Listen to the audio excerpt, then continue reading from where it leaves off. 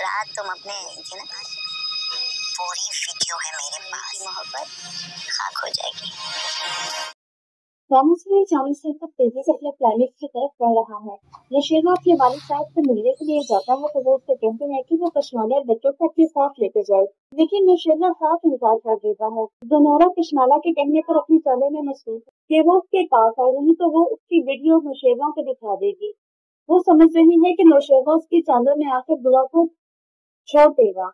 तो बुआ दोबारा उसके पास आ जाएगी। नौशेरा बुआ को निकलकर परेशान रहने की वजह से इसके साथ में है। सुनारा से फ़ोन पर बात कर रही रहती है। तो नौशेरा पीछे से आकर सुन लेता है। अब वो अपनी साथियों के साथ जाकर शहरा को उसकी औकात याद दिलाएगा, क्योंकि दुआ की कीमतें वो पहले से ही अदा कर चुका है।